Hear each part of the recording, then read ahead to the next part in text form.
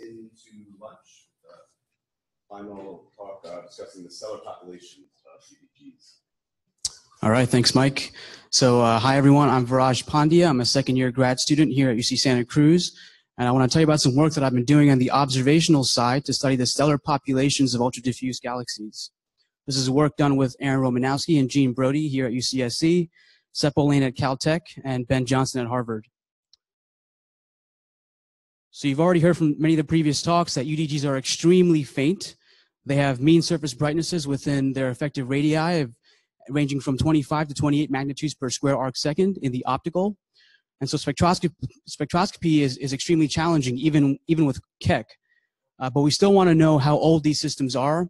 Specifically, we want to know, we want to get constraints in their stellar populations. And so the current state of the art in the UDG literature and the observations is to speculate about ages and metallicities using uh, a single or perhaps two uh, colors, which generally have a limited wavelength baseline, for example, G minus I or G minus R.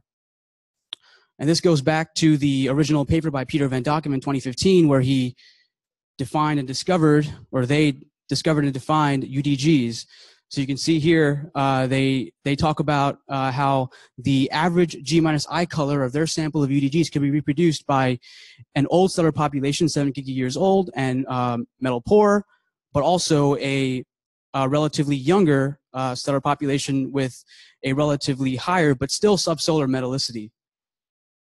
And so just this year, a few months ago, there was this really cool paper by Rom- Roman and Trujillo where they studied uh, their sample, the colors of their sample of classical red UDGs uh, using, they basically did the same thing, um, comparing not just one color, but two colors, G minus R and G minus I, uh, to uh, single uh, SSPs.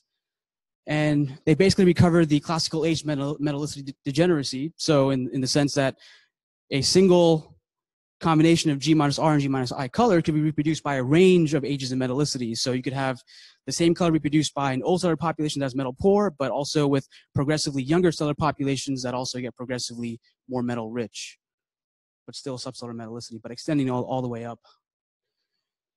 Now, of course, in reality, things are more complicated. So as far as I'm aware in the literature, most of these studies have been comparing their, their photometric constraints uh, to uh, SSPs, single SSPs, which might be okay for some globular clusters, but UDGs are, of course, galaxies, and they might have more complicated extended star formation histories. So we should be more agnostic about what the formulation of their star formation history actually is. The other thing is that there's been a lot of talk about the age metallicity de- degeneracy, but in reality, as many of us know from, for example, our, our high redshift work, is that it's actually a three-way degeneracy. So it's age, metallicity, and dust and you have to take into account dust, even if you don't want to, to uh, get a better handle on, on how that might impact your, your, your results on the ages and metallicities. And so we thought of two ways to help move the field forward in, the, in this respect. First, uh, we're extending the wavelength range of the SEDs to the near infrared using brand new Spitzer IRAC photometry. And because there are claims in the literature that combining optical and near infrared photometry might help you break to some extent the age metallicity degeneracy, and the second thing we're going to do is we do full Bayesian MCMC based SED fitting because we're forced to be very explicit about what we simply do not know about UDGs, and we recover the full posteriors of our free parameters marginalized over our uncertainties in the model parameters. And so before I get into the sample and data and results, I want to quickly just say a few things about our tool. So we use a really powerful new uh, full Bayesian MCMC-based SED fitter called Prospector. I don't have time to go into the details, but I'm just going to say that the backbone of Prospector is Charlie Conroy's flexible stellar population synthesis code. Um, there's more details in Joel Leja's 2017 paper, and the code itself is public and uh, available on GitHub. Uh, a couple things about our model assumptions. So um, we assume for simplicity, uh, because I can't do anything better with SEDs, uh, that the starfish tissues are parameterized exp- exponentially declining tau models. This may not be correct, and I personally will not defend this, this formulation, but it is a good first step as opposed to assuming SSPs.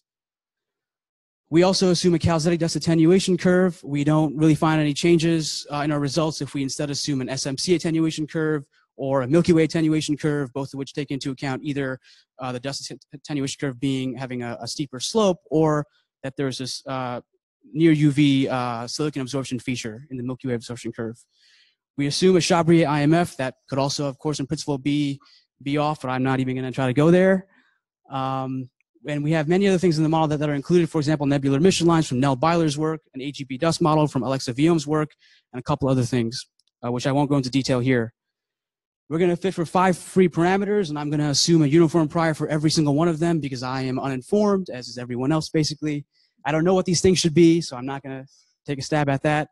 The five free parameters are stellar mass, stellar metallicity, the E-folding time scale or the tau parameter for the star formation history, the age, which is basically the time since the Big Bang when star formation first started, and finally the, norm, the normalization of the attenuation curve. All right, so so far we have two UDGs in our sample. On the left here, I'm showing a field UDG, DGSat1, for which we have archival Subaru V and I band data uh, shown on the top row, and we have brand new Spitzer IRAC1 and IRAC2 data. And then on the right, I'm showing our other UDG in the sample, which is a Virgo cluster UDG, VCC1287, for which we have archival CFHT U, G, I, and Z band data, as well as brand new IRAC1 data and archival IRAC2 data. One thing you might ask, and this is the first thing I did, is does UV data exist for these things? Does mid-infrared data exist? Does far-infrared data exist? And I went to the archive for, for HST, GALEX, WISE, uh, Spitzer, Herschel, and either the data does not exist, or if it does exist, I downloaded it, derived upper limits, and the upper limits are four magnitudes brighter than my actual measurements in these bands that are basically useless. But that's where we are right now in the UDG field. Uh, very quickly, I want to mention that we do our photometry using the same circular aperture in every bandpass because we care about measuring the color self-consistently. Our masses will be off by a factor of two at most, about 0.3 dex. Uh, the size of the aperture is chosen to be the half-light radius from the literature. Uh, we're very careful about masking out contaminants from the foreground and background, especially in the IRAC bands, and propagating systematic uncertainties onto our magnitude error bars. And after you do the actual math and do the single noise calculations, uh, I was surprised to find, but both UDGs, both UDGs are significantly detected in all band passes shown here, including the one on the right in IRAC2, which you barely can make out.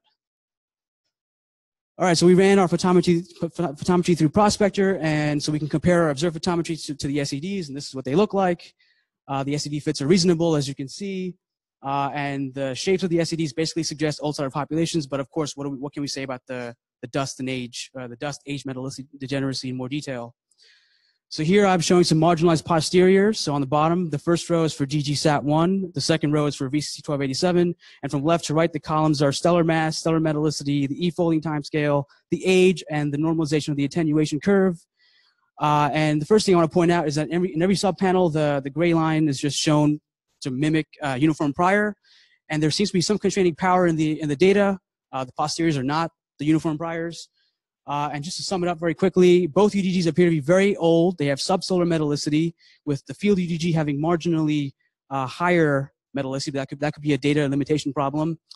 And both UDGs, when you take the ratio of the age to the tau parameter, they have, uh, have gone, undergone several e-foldings, uh, e-folds in their star formation history, with marginal evidence that the field UDG might have a more, a slightly more extended star formation history. But I wouldn't bet my career on that.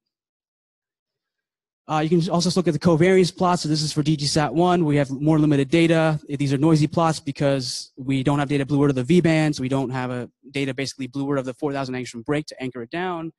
Uh, one thing I'm going to point out, though, is that there is this, on the bottom here, there is this uh, intuitive degeneracy between dust and metallicity, which we recover, even though the dust only goes up to about 0.5 magnitudes of, of extinction at most. Um, if you have more dust, you need, you need a lower metallicity to reproduce the same color, of course, marginalized over the ages. Same thing for VCC 1287, smoother contours because we go down to beyond blueward of the 4,000 angstrom break. Uh, one thing I'll point out is that the metallicity is actually an upper limit. The prospector libraries don't go below uh, log of metallicity below minus two. Um, so it might even, this object might be even more metal poor. Uh, so one thing we can do now with these constraints, if you believe the metallicities, is to place these two objects uh, in context um, with the mass metallicity relation for stars. So we've done that here for a bunch of dwarfs and massive galaxies. Uh, and so DGSat-1 appears to be consistent with the stellar mass metallicity relation, whereas VCC1287 seems to be a bit below it. And so the implications of this are still unclear, but we're working on that now. And so I want to conclude by just uh, recapping that we did full Bayesian MCMC based SED fitting of these two UDGs. We have a couple more UDGs that we're working on. Uh, two famous ones in the coma cluster, DF44 and DF17, and some of these so-called blue UDGs. Um, both the UDGs, UDGs that we've looked so far are, are old, metal poor, and relatively dust free, even though one of them is in the field and one of them is in a cluster. And the field UDG is consistent with the mass metallicity relationship, uh, whereas the cluster UDG is below it. And so one important next step is going to be to compare our ages and metallicities to what uh, theory predicts, simulations predict, uh, to try to test out different UDG formation scenarios for clusters versus the field. Uh, but one thing I want to point out and stress myself is that there have been many assumptions that went into this SED fitting process, as, as goes into any SED fitting process. And so I personally also want to explore systematic uncertainties and in our derived quantities and how to how to tackle this better in the future because it's a very hard problem, as I hope I've convinced you. And spectroscopy is uh, very hard to do, even uh, with Keck, 20 hours on Keck, for example. So, thank you very much.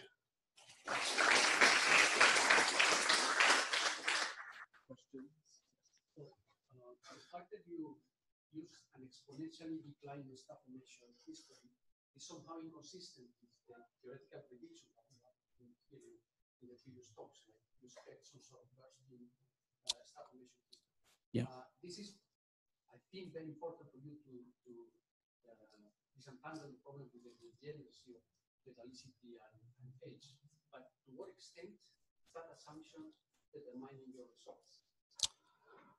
Uh, I completely agree with you. I mentioned I'm not going to defend tau models, uh, but you know we have very limited data for SEDs just because that's the way it is for UDGs.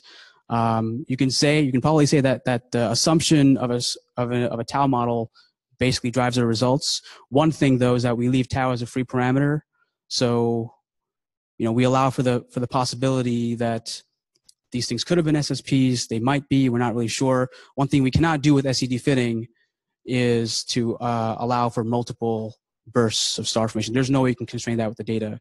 If you had spectra, you should derive non-parametric star formation histories, but in different age bins. But I don't know how far away that is. Maybe a couple years. So, uh, but I completely agree with you, David.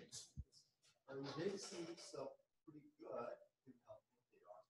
See, the since they're so large that you can aspirate the two zones of the equal amount total length. Then Mm. see whether the two zones are actually self each other.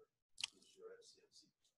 Just try any attempt to do a spatially resolved Yes. stuff. What do you find? Yes, I've done that for both of the UDGs that I showed in multiple radial bins, uh, and there's no significant dif- differences in the resulting corner plots and marginalized posteriors, which is interesting in and of itself. It suggests that the UDGs are a well mixed population. So, or for these two at least.